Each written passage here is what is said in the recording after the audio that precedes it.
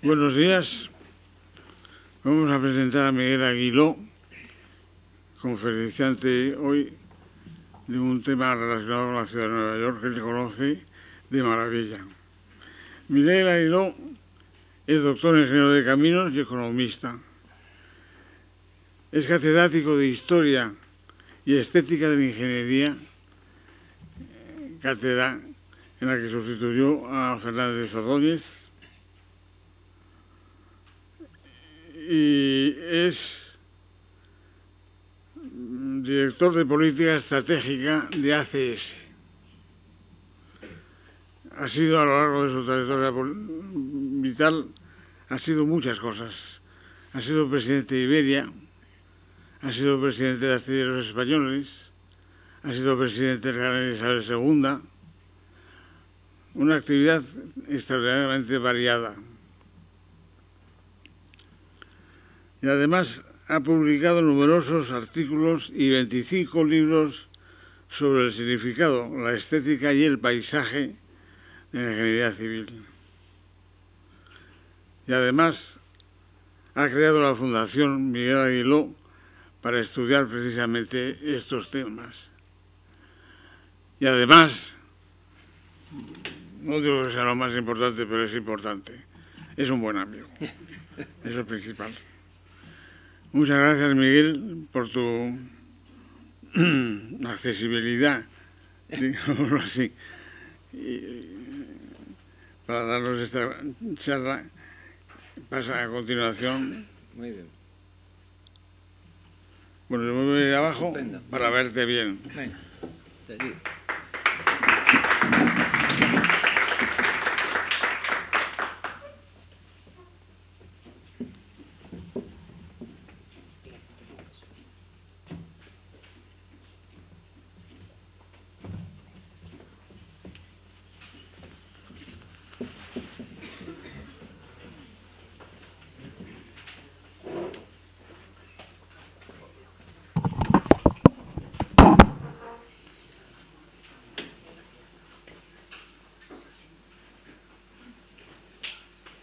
Muchas gracias, José Antonio. Gracias, Pepa, por invitarme.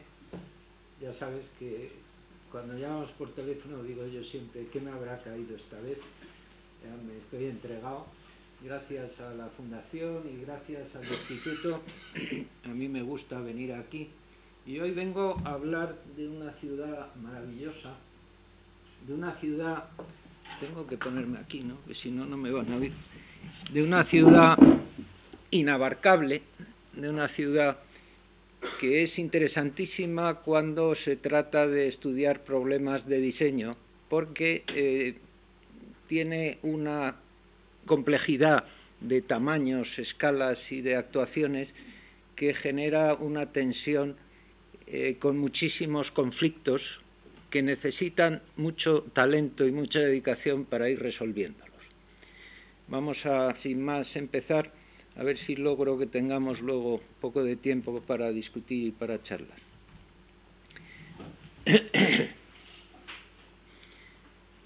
La ciudad es mucho más que la isla de Manhattan, pero la isla de Manhattan de alguna manera la tutela, la gobierna y le sirve de referencia.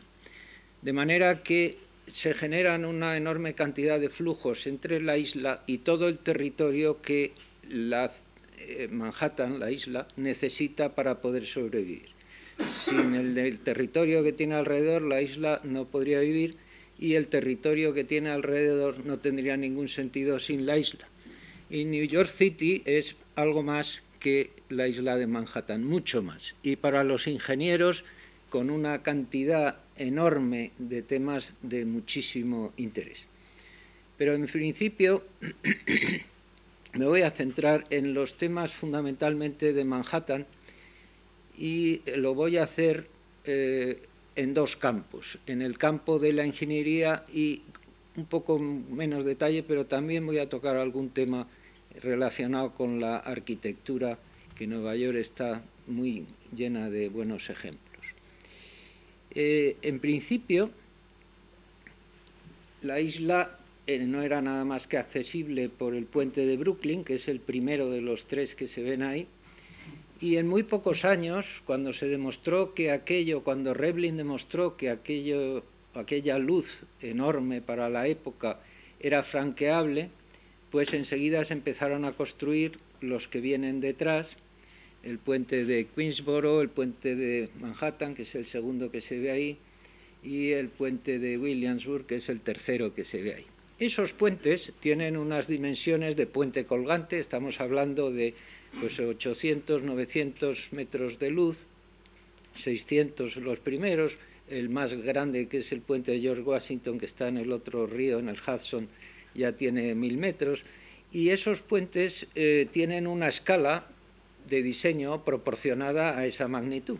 Diseñar un puente colgante de mucha luz pues requiere una manera de abordar los problemas y la definición de sus elementos que conlleva una serie de proporciones y de tamaños y de eh, cabeza que requieren una dedicación eh, muy, muy clara y muy concreta. Cuando esos puentes aterrizan en una cuadrícula como la de Nueva York, de 200 metros más o menos, 180 por 60, 80 metros, absolutamente rígida y adaptada a la escala de la ciudad, se produce un choque que requiere mucha atención, porque el problema ya no es tanto la estructura en sí misma, sino cómo se elabora su enganche o su coordinación o su entrega de la gran estructura de los puentes colgantes o de los puentes cantilever con, o de los grandes túneles, con un tejido urbano concreto, cerrado y muy poco flexible para acometer esa entrega. Y eso es lo que de alguna manera ha generado el tema de fondo de esta. No voy a hablar tanto sobre Nueva York, sino sobre problemas concretos de diseño que son, eh, por así decirlo, característica de la ciudad y que ayudan a entender su complejidad. Esta es la isla eh, con su hueco interior, su, parque característico que enseguida centra las cosas en el mapa. Aquí se ven en primer término los tres puentes que he citado antes. El puente de Queensboro sobre la isla de Blackwell Island, que se ve ahí, se ve un poco menos, y al fondo a la izquierda se ve el puente de George Washington, que es el que prácticamente coronó el esfuerzo de vincular la isla con puentes a su eh, derredor. Hay túneles, los túneles no eh, producen eh, problemas de diseño en sí mismos, salvo de construcción, que siempre es compleja y delicada, pero su entrega a la ciudad, su manera de entregar el enorme caudal de tráfico que generan a la ciudad, sí que plantea problemas y los iremos viendo después poco a poco. Esta enorme, por otro lado, densidad de construcción también genera problemas de adaptación.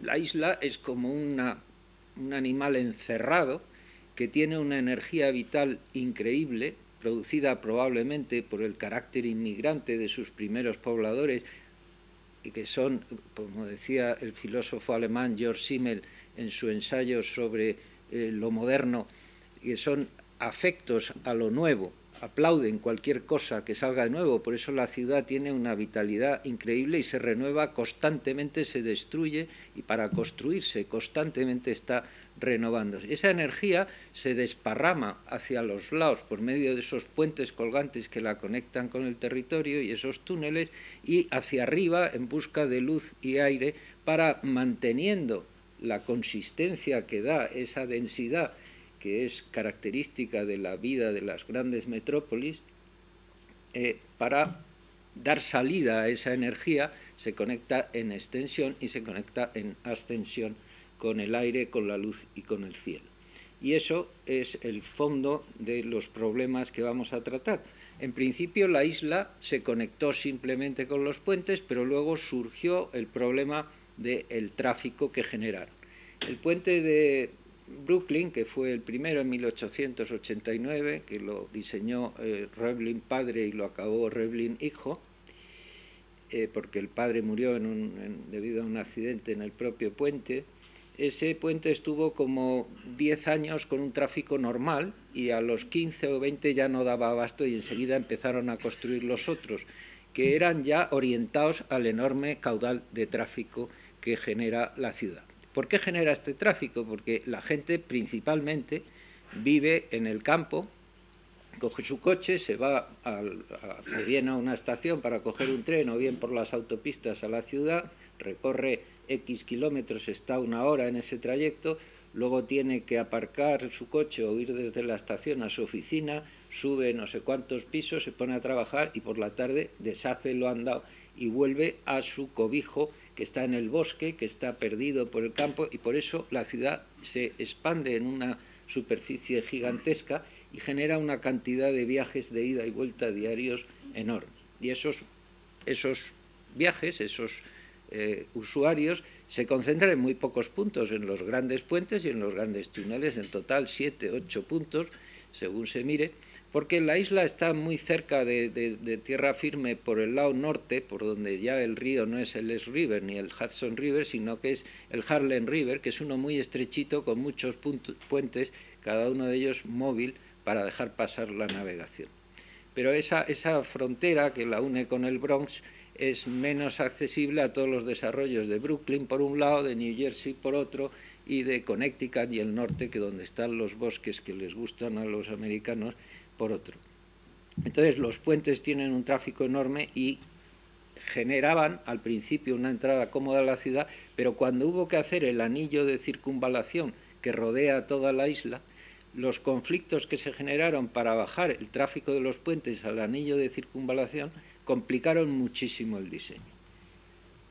Centrado así el tema, se ve la masa enorme, la densidad enorme de la ciudad y esa posibilidad de expandirse tanto en altura como en extensión, ¿qué es lo que produce? Este es un mapa, ahí tienen, no sé si esto da aquí un punto, sí, ahí está la isla, esa es la isla de Manhattan, y tiene a su alrededor, como ven, una autopista. Lo que está en azul es una propuesta muy antigua del plan de 1929 y lo que está en negro, creo que se distingue, sí, ustedes lo podrán ver bien, eh, es lo que realmente se construyó. O sea que ahí se ven un poco los problemas que ha habido. El mayor problema de todos era conectar toda la parte de Brooklyn que tienen ustedes a la derecha del mapa con la parte de New Jersey que tienen a la izquierda, el este con el occidente de la isla.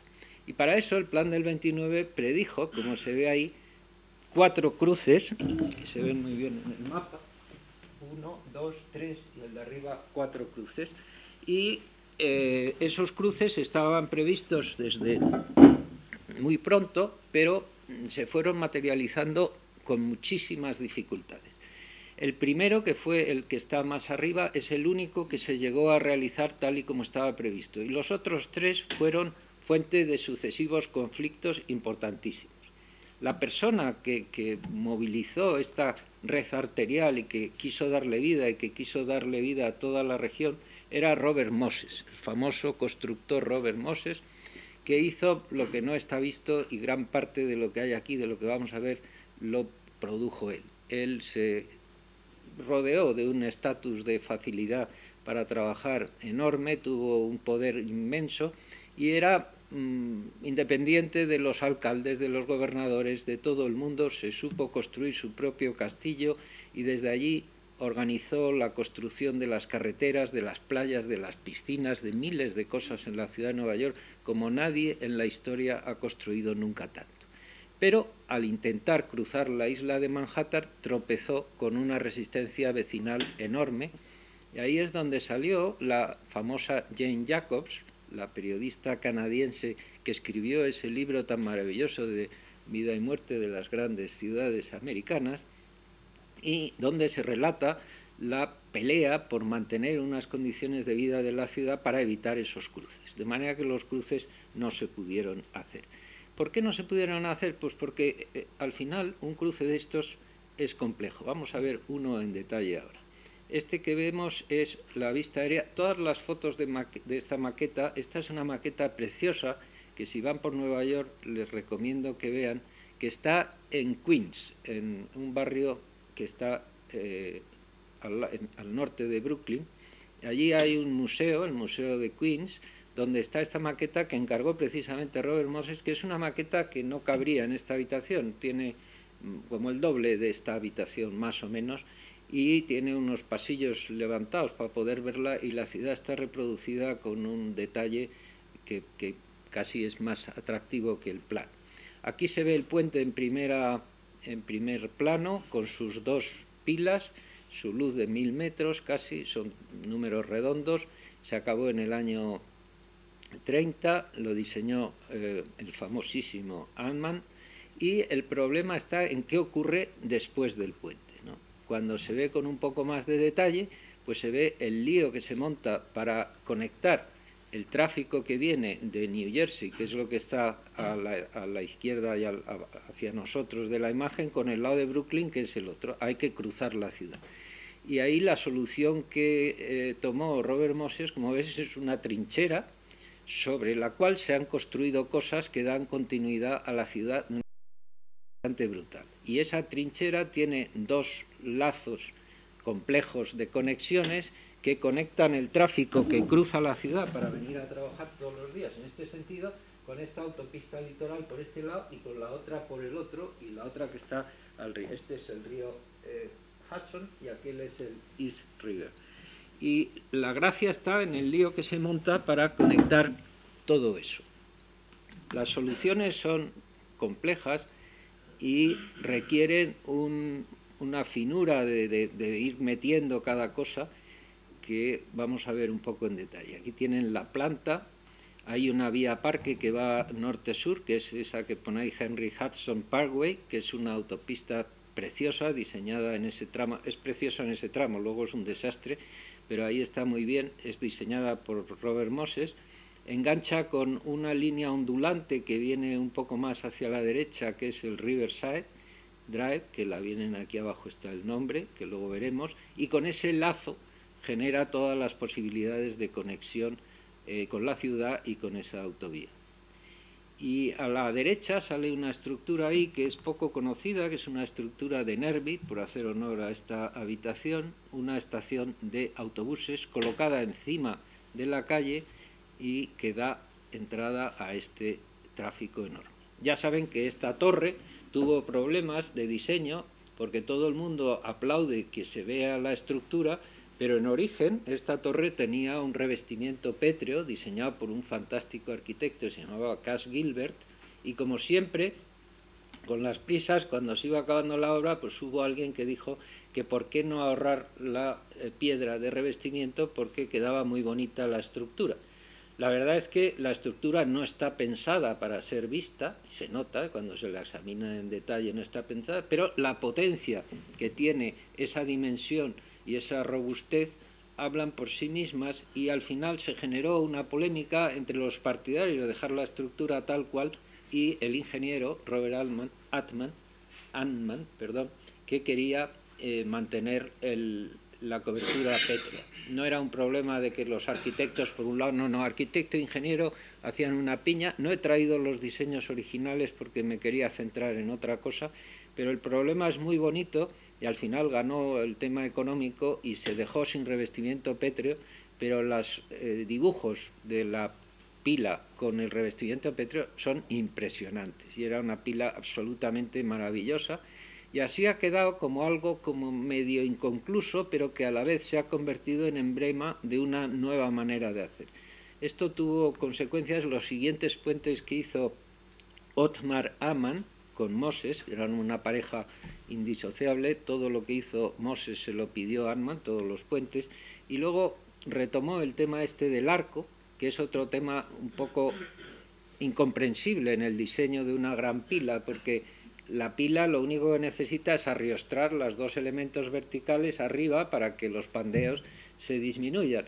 Pero la introducción del arco significa una voluntad de dar a esa pila un aspecto de pórtico eso, por supuesto, no se le ocurrió a Altman, es una herencia directa del gran puente de Brooklyn y eso lo explicó muy bien su diseñador, John Augusto Roeblin, cuando en la memoria que escribió a los accionistas que eh, sufragaban el puente, puente de Brooklyn es un negocio privado con una concesión, pues justificaba que estaba haciendo un gran portal de entrada que tenía que significar para la ciudad lo mismo que las catedrales europeas significaban para las grandes ciudades de este lado del Atlántico.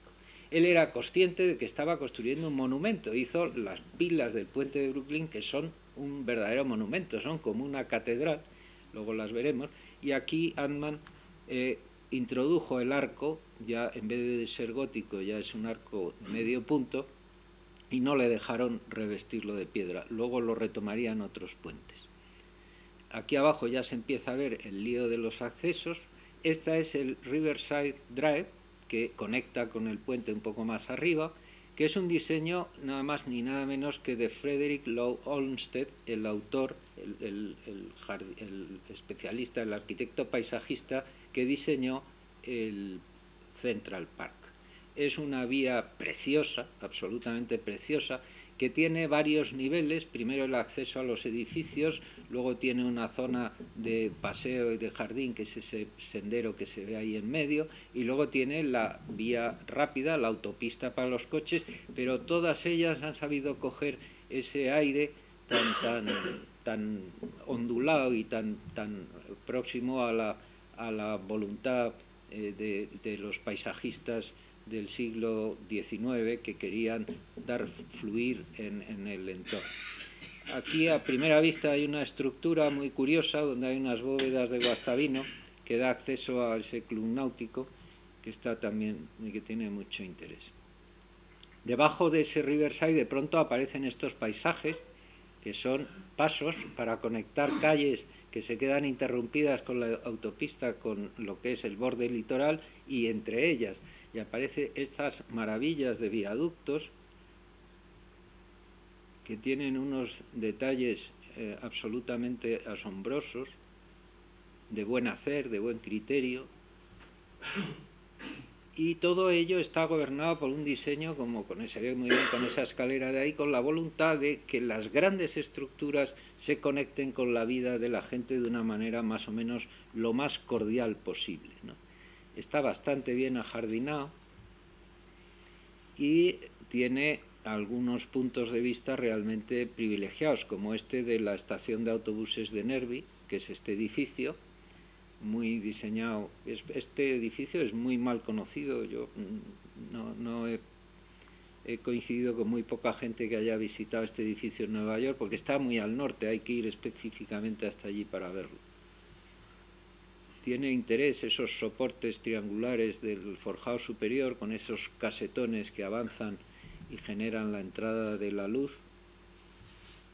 No es de las estructuras más hermosas de Nervi, que tiene muchas cosas muy bonitas, pero tiene bastante interés. Y ahí se le ve al fondo, avanzando un poquito hacia el este, están estos cuatro grandes bloques construidos a lo bestia encima de la trinchera. Aquí se ve la autopista pasa por completo por debajo, allí hay unos pilares y los edificios estos son para realojar las familias que hubo que, eh, eh, cuando se derribaron los edificios, ah, tuvieron que dejar sus, sus domicilios y generaron esta solución que es dura, dura, durísima. Si, avanzando para, hacia el este, siempre estamos cruzando de New Jersey hacia, hacia Queens, y vamos ahora a cruzar el río, el East River, con una estructura también complejísima, con muchos niveles, lazos, aquí se ve. este es un, es un esquema de la complejidad de ese cruce, que lo que se veía era la enorme flujo de, en el vídeo que no he podido poner, la enorme flujo de vehículos que, que circulan por ahí todos los días a todas horas, este tránsito de cruce de la isla de Manhattan es probablemente uno de los tramos de más densidad de tráfico que hay en todo el occidente eh, americano. Eh, le supera un, puente que es el único que están sustituyendo, que hay un poco más al norte, el Zapan Bridge, que lo están remodelando porque no ha podido con todo ese tráfico, pero el tráfico aquí es endiablado y entra en una trinchera que fue un motivo de una bronca monumental con los habitantes del Bronx porque partió el barrio en dos con esta zanja metió todos estos autobuses y estos coches y dejó el barrio completamente aislado y desnaturalizado. Se llega al final a este nudo complejísimo de cruce de dos eh, expressway, dos autopistas llenos de pasos, de puentes por todos lados, para llegar a este hermosísimo puente. Otra vez estamos en este problema del conflicto entre el paso de una gran eh, autopista por unos parajes enormes, abiertos, con estos puentes colgantes maravillosos, y el paso por una ciudad densa, densificada, donde todo entra en conflicto, donde los cruces hay que resolverlos, y eso genera una sensación que cuando se empieza a analizar se da cuenta uno de la dificultad que tiene diseñar todo esto.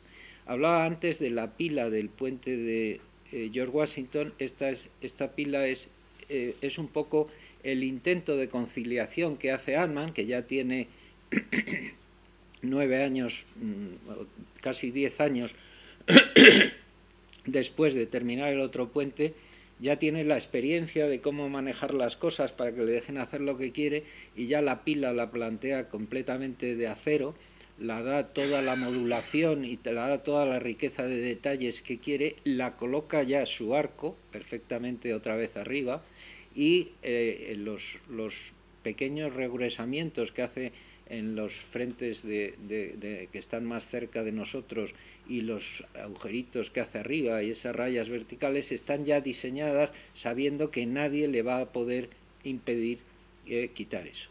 Tanto el arco de arriba como el de abajo pues son, son sobrantes, en el de abajo todavía se ve aún mejor, en realidad son, son vigas empotradas que trabajan con el canto que tienen y los, las terminaciones rematadas en arco no aguantan carga, porque ese arco de abajo no aguanta ninguna carga, se limita a riostrar. El tablero está colgado arriba, no apoya ahí abajo.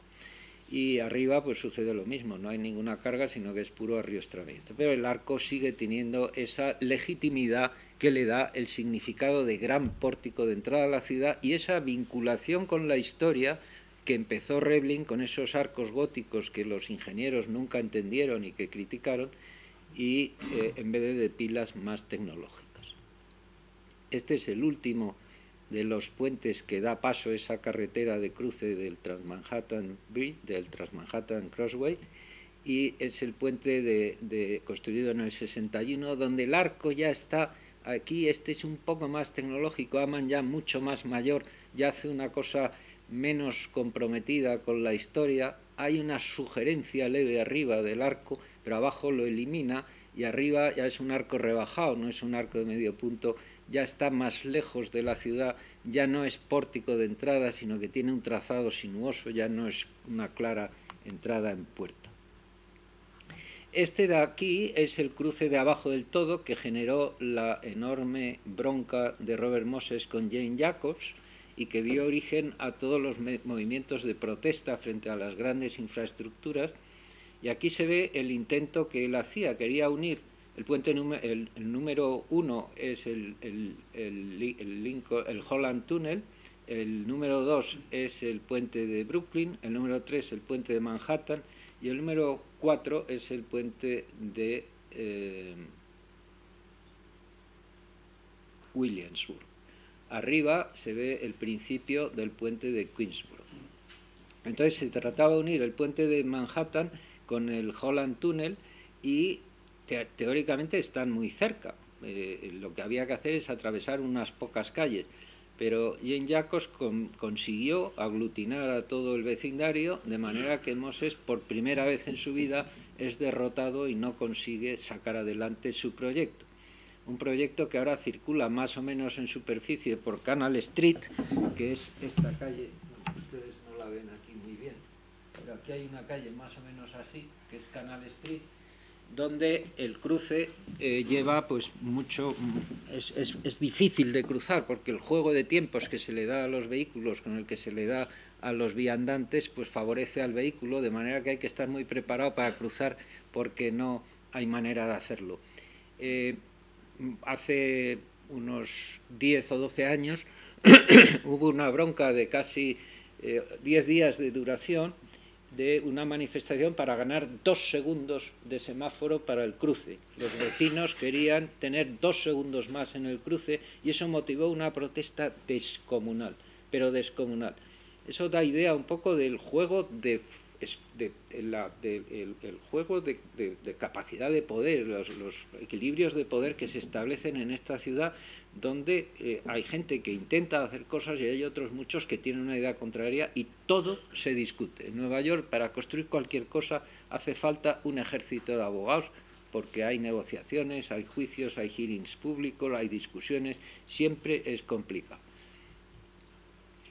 Este es el puente de Brooklyn en primer plano, el puente de Manhattan detrás, da idea de la dimensión de que estamos hablando.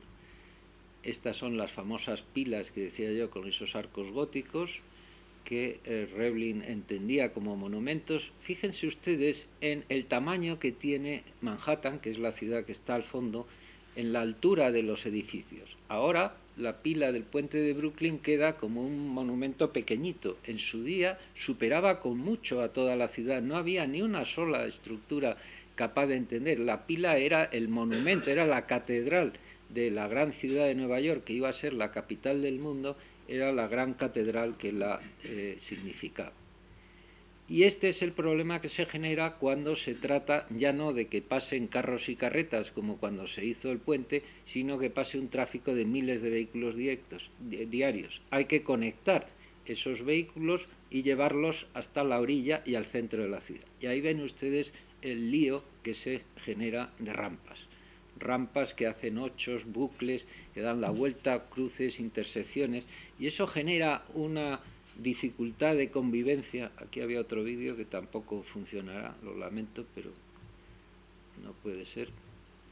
Y genera unos paisajes completamente eh, mm, dedicados a otra cosa, que empiezan a adquirir ese carácter permanente de estar en construcción con vallas, andamios, toda esa infraestructura requiere un mantenimiento carísimo, y eso contrasta con cómo estaba diseñada la entrada del puente en tiempos antiguos. Aquí han respetado esta fantástica columnata de Carrera Hastings, de una pareja de arquitectos, una firma de arquitectura que hizo un montón de rascacielos, y le parecían a ellos que a ese puente del Manhattan Bridge, que es un prodigio tecnológico, que tiene unas innovaciones tecnológicas enormes, había que hacer un acuerdo de ese mundo tecnológico de miles de metros, acordarlo a una ciudad donde están personas y la manera de resolverlo de Carrera Hastings y de Ralph que era el ingeniero que finalmente acabó el puente, pues fue colocar un pórtico con resonancias vaticanas, con estas alas del siglo XVIII, XVII, XVIII, que abarcan una plaza, y el puente sale en un tridente con tres vías, no hay ninguna rampa, este puente como desembarca, como habéis visto antes, muy lejos de la de la orilla, no hay rampas de acceso, no tiene conexión con la vía de borde y se entrega a la ciudad simplemente con un tráfico pausado y tranquilo. Han tenido que cambiar las direcciones porque esto era entrada y salida, ya lo han dejado solo de entrada y la salida se hace por otro lado, pero bueno, eso son menudencias. La magnificencia del diseño del puente habla de ese choque de dos mundos, de los vehículos y de las personas y de cómo se trató este problema. En el otro lado del puente de Manhattan, pues vuelve a ocurrir cosas curiosas, veces como mm, los dos mundos entran en conflicto y por arriba circulan miles de vehículos y por abajo la ciudad busca la manera de acomodarse y se generan espacios, se generan patios que con un muy buen criterio están recuperando últimamente y que al final dan vida a partes de la ciudad que quedarían canceladas por estos grandes infraestructuras. El propio estribo, pues, también hay que darse cuenta del tamaño de estas cosas. Este es el estribo del puente de Manhattan que está macizo. O sea, esto es un, trasto que equilibra, con su peso, equilibra el tiro que producen horizontal los cables. Y como es un tiro a esa altura, pues eh, funciona como un cajón con un tiro arriba que tiene que trasladarse a la cimentación y el peso ayuda a centrar la, reacción. Esto es otra vez en el lado de Brooklyn, cómo se ha generado allí una plaza con bancos en este lado, se ha puesto de moda, en, lo llaman Dumbo, que es Down Under Manhattan Bridge, y la O no me acuerdo qué quiere decir, under, Manhattan. Es, es un barrio en la confluencia de los dos puentes de Brooklyn y Manhattan, que se está eh, empezando a sacar la cabeza del caos que significaba aquello y está empezando a ser colonizado para los ciudadanos, mm, quitándole espacio al tráfico rodado y dándoselo a las terrazas, a la gente, al, uso más humanizado. Hay, árboles, hay, flores, hay de todo. Esto es producto de una última comisionada de urbanismo de la ciudad que se llamaba Amanda Burden, una millonetis eh, que se quedó viuda muy pronto y se puso a trabajar con el alcalde Bloomberg, hizo un trabajo espléndido de dotar a la ciudad de vida en todos lo que eran espacios públicos. Y este es eh, uno de los miles de frutos que se puede ver ahora por la renovada ciudad de Nueva York. Otra vez el problema de la escala en el puente de Queensboro, con su complejidad de accesos, este ya es un, un puente cantilever, pero volvemos a tener los mismos problemas. Los coches salen en riadas por arriba, por abajo, por delante, por detrás. Hay que darles acomodo a las calles de la ciudad. La aparición de, la, de las vías de borde de que rodean la isla, como esta que es la FDR, genera unos problemas de cruces y fíjense ustedes ahí el lío que se monta en la, la ciudad. Este es el puente de Queensboro que acabamos de ver y hay un cruce de pasarelas por todos lados, túneles, edificios que se colocan encima de la ciudad. El, la pugna por el espacio es absolutamente tremenda y todo hay que negociarlo, discutirlo con el ayuntamiento, con los responsables de las carreteras, con los responsables de la universidad, que son esos edificios. Esta pasarela también es, es la universidad, la otra da acceso a la vía de borde que se ha planteado ahora y baja luego hasta la orilla del río todo es complejo y todo está diseñado en, permanente competencia y concurrencia con todo lo que hay alrededor.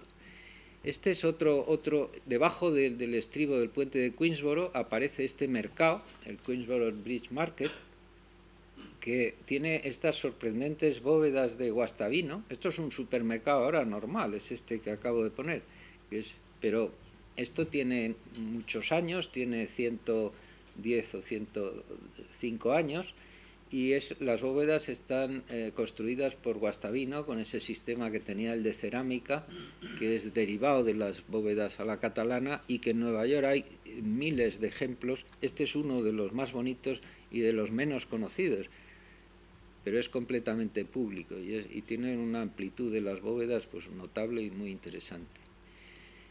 Este es otra vez el puente, esta vez visto desde un parque, otro parque muy poco conocido en Blackwell Island, en la isla, ahora se llama la Roosevelt Island, pero todo el mundo la sigue llamando Blackwell Island, y el puente de Queensboro se hizo aquí porque una de sus pilas se apoya precisamente, en, una pareja de pilas se apoya en el puente.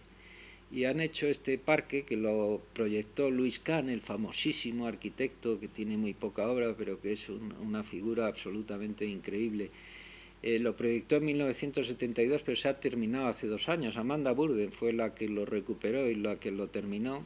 Y la coexistencia de este parque con el puente de Queensboro es realmente notable. Ahí se ve el puente al final, el parque de Luis Kahn, ese hospital antiguo que había en la isla como eh, vestigio de una historia que está ahí, que sigue presente y que los americanos no quieren perder estas terrazas que dan vistas a el diálogo del parque que es de una pureza infinita con el puente, las infraestructuras, el río y, la ciudad es directo, inmediato, de la simplicidad de los materiales y las formas con la complejidad y vida abigarrada que se adivina en las orillas. En el otro lado el puente entra majestuosamente en un terreno muy llano, no tiene ningún problema, esto es como si estuviéramos en medio del campo, pero luego tiene que enfrentarse otra vez a su entrega, a su aterrizaje en la ciudad y empiezan a surgir estos líos por todos lados de metros, de rampas, resueltos a veces con fortuna, a veces con menos acierto, pero con todas estas rampas que generan la necesidad de dar grandes quiebros para... Porque el problema es que si el flujo de tráfico enorme que va por estos puentes se entrega todo en bloque en un punto, el colapso está garantizado. Y entonces la gracia del diseño está en diversificar esa entrada. Ahora lo vamos a ver en, algún túnel. Este es el Middown Tunnel. Este tiene un problema que resolvieron a lo bestia. Como aquí la concentración de coches era tremenda y no había manera de hacerse con ella, generaba un lío horroroso, lo que hicieron fue condenar una calle, eh, no tiene accesos, no tiene vida, es una calle eh, muerta, aquí ven la manera, esta se llama Exit Street, Midtown Tunnel Exit Street, y no hay manera de hacer nada, casi ni de circular. No hay acceso a los edificios, no hay tiendas, no hay ventanas, es una zona eh, absolutamente sustraída a la ciudad. Durante cuatro o cinco manzanas es territorio de los coches, territorio comanche, y ahí no pasa nadie. Otro gran conflicto, este en relación con el metro. El metro tiene que tener continuidad por encima de grandes zonas construidas. Se genera ahí una competencia a veces que es curiosísima. Aquí, por ejemplo, hay un puente elevadizo, que es el de abajo, que no tiene absolutamente nada que ver con lo que circula por arriba.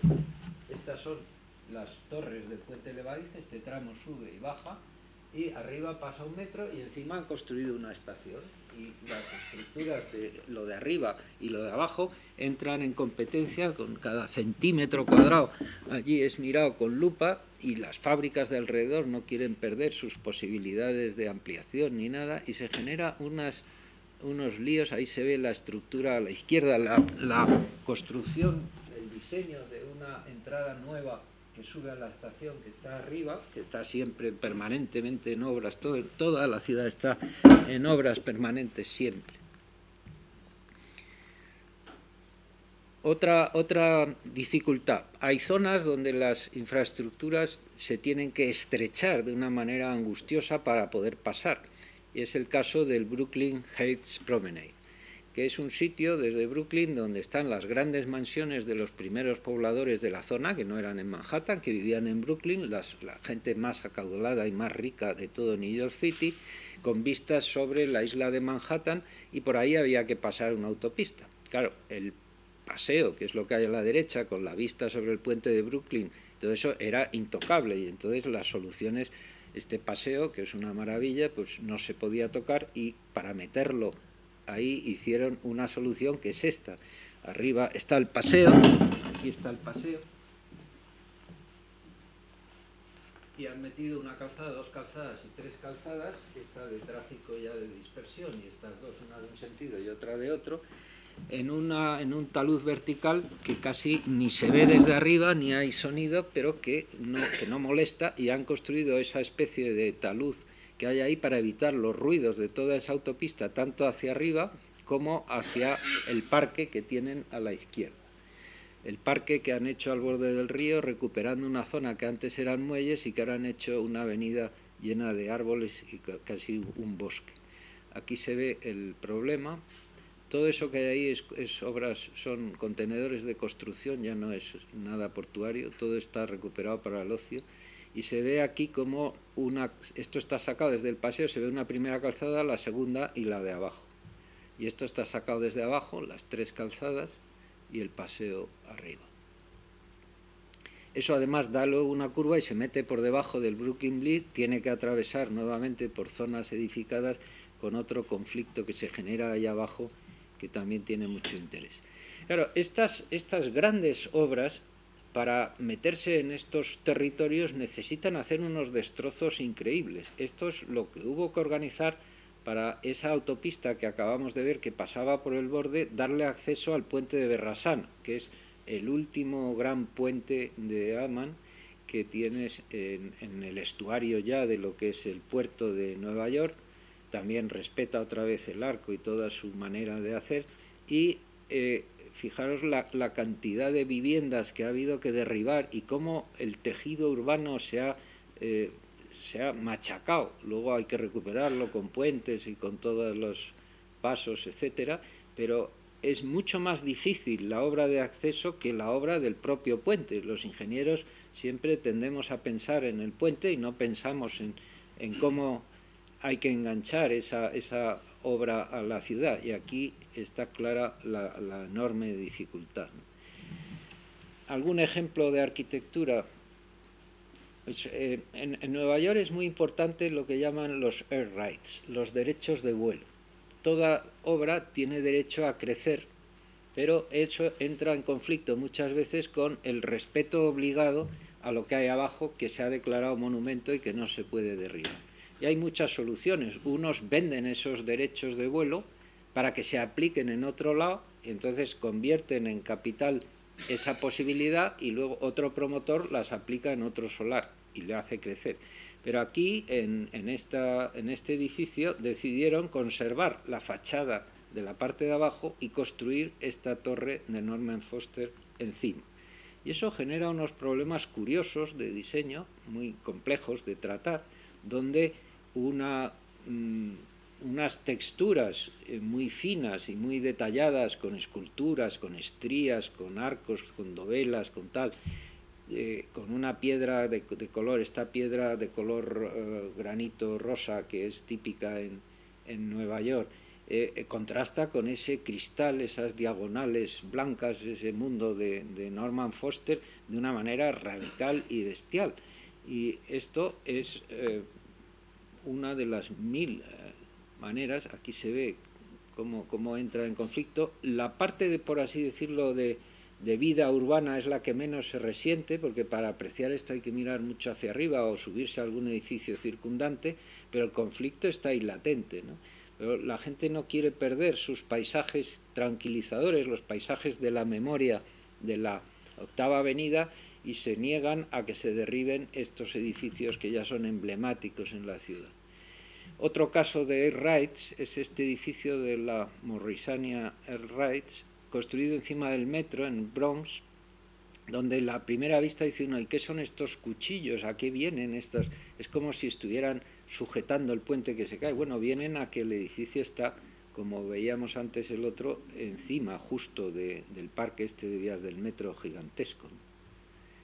Y se colocan las cosas pues un poco como se pueden. Estas son las entradas de los bloques, las escaleras. La vida va surgiendo en torno a esos grandes detalles que vienen obligados por la complejidad de las estructuras. Este es otro caso, la terminal de autobuses de la calle 42 de Nueva York, donde mm, todo el tráfico de conexión de la ciudad con New Jersey se viene por el, el Holland Tunnel y sale a parar a esa terminal. Esta es la antigua y aquí están las dificultades de las rampas, los lazos, las historias, una para los autobuses, otra para los coches, toda esta complejidad que genera unas cosas eh, muy difíciles de, penetrar. Y esta es la gran edificio de la terminal que vuelve a expresar, esta vez porque quiere, porque esto podía ser una estructura de modo tradicional perfectamente, pero quiere expresar esa dimensión de la obra grande, de la obra eh, más próxima a la ingeniería y genera esta enorme celosía. Un poco también, yo creo que aquí el, este diseño mm, es también un tributo a la obra de Nervi de la otra estación de autobuses que hizo allí y en esta fachada tiene sentido, pero claro, cuando da la vuelta, pues en esta fachada ya no tiene ningún sentido porque las cerchas vienen aquí y entonces hay que simularla y la han simulado con esos esas cruces de, arriostramiento de las vigas y esas prolongaciones que tienen un carácter más bien formal que otra cosa. Aquí se ven las dos. Para que el edificio juegue, pues se le ha dado a una fachada un papel real y a la otra un papel ficticio. El lío de señalizaciones y de prohibiciones y de historias que tienen los americanos en las entradas de los túneles es otra, otra de las cosas que se te vienen encima de una manera tremenda, ¿no? Fijaros ahí, hay 20 carteles, todos prohíben algo, todos. Siempre eh, eh, no se acerque, no ponga, no lleve esto, no lleve lo otro, inspección, eh, prohibición de vehículos, esto, botellas de gas, prohibido las bicis, prohibido, todo es prohibición. El, el acceso ya es un, un elemento de tensión inducido en la vida de la ciudad y luego las, las obras que necesita un túnel de estas características, pues esto es la chimenea de ventilación, para que tengáis, hay dos, esta es una que está en tierra y hay otra todavía más bonita que está en el mar, pero es una chimenea de ventilación de un túnel y, y es un edificio que en sí mismo es un portento, vamos, es un, una maravilla de, artefacto. Y este, este puente en curvo precioso que hay es simple acceso a, la chimenea de ventilación para su mm, mantenimiento. Cada obra de estas conlleva una cantidad de cosas que es, eh, es digno de, de, reflexionar. No estamos acostumbrados a prestar atención porque nos ha importado siempre, cuando hemos estudiado Nueva York, los puentes, los túneles, los metros de luz, los sistemas, los cables, la pila, no sé qué, y de pronto se tropieza uno con el mundo de conectar eso con la ciudad y la infinidad de trucos, de transiciones y de cesiones que hay que hacer. Aquí este edificio, por ejemplo, pues ha quedado condenado en tres pisos de altura por dar salida a esto. El lío de la señalización es tremenda, porque claro, al salir eh, del túnel, aquí se ve bien. Estas son las obras necesarias para la salida del, túnel. Ahí se ve la chimenea de ventilación arriba a la izquierda. Esta, donde pone el 3, es la vía de borde, donde no hay conexión. El túnel pasa por debajo de la vía de borde y se mete en las calles de la ciudad. La estructura que hay encima del número 2 es la de entrada y la que hay debajo es la de salida. Y el número 1 es una calle diagonal bastante importante que es Canal Street, que es la que conecta con Manhattan Bridge.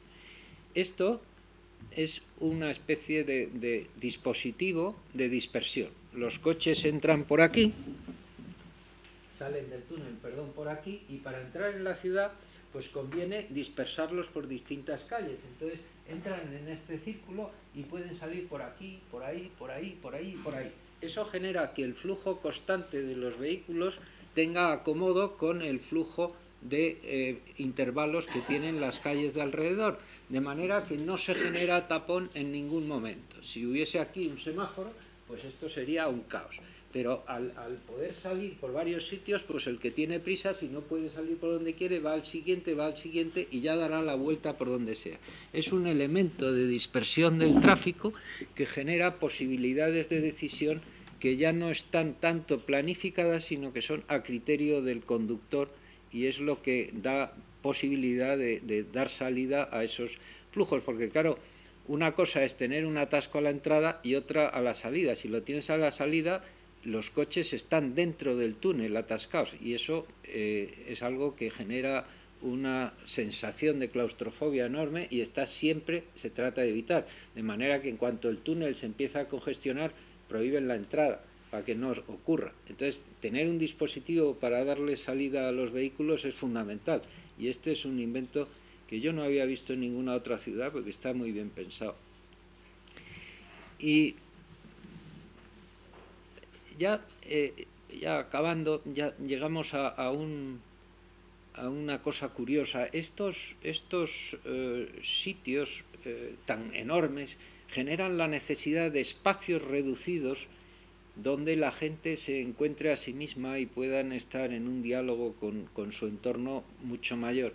Y hay en, en, Nueva York, he traído este, pero podía haber traído cientos de lo que ellos llaman pocket park, parques de bolsillo. Y este tiene exactamente 500 metros cuadrados, o sea, es un poco más grande que una vivienda. Pero lo consiguen eh, rodear de, una, mm, de un cúmulo de detalles que consiguen un ambiente de privacidad, de relajo y de tranquilidad y de ausencia de ruidos del tráfico que hacen que se pueda estar tranquilamente, como están ahí, leyendo, tomando el sol o disfrutando. Este es el diseño del parque, pequeñito, y este tiene allí una cascada en un lado, unas sillas, todo esto es fruto de esta Amanda Burden que he dicho que ha conseguido, el parque es muy antiguo, esta señora es la que ha dinamizado todo esto, lo ha limpiado, le ha dado seguridad, le ha puesto mobiliarios nuevos y ha conseguido, por motivos tan tontos como que, bueno, ¿por qué los bancos tienen que estar en fila? Si la gente lo que le gusta es reunirse a charlar, pues nada, pues sillas, ¿Cómo que se llevan las sillas? ¿Cómo se van a llevar las sillas? Pues no se llevan las sillas. Ha demostrado que la gente no se lleva las sillas y que en cuanto vienen tres o cuatro cambian el orden de las sillas, se ponen juntos, hablan, hay mesas y hay una vigilancia muy, muy discreta. En Nueva York ya aquella figura ominosa del policía de antes que daba pánico ha desaparecido, ahora hay una sensación de seguridad. El alcalde anterior, Bloomberg, fue un prodigio en eso y el nuevo ya tiene problemas, ya está perdiendo. Y aquí se ve la gente en la base de la cascada disfrutando de una especie de cascarón de protección en esta ciudad de conflictos donde, bueno, se ha hecho de todo, pero con dificultades. Muchas gracias.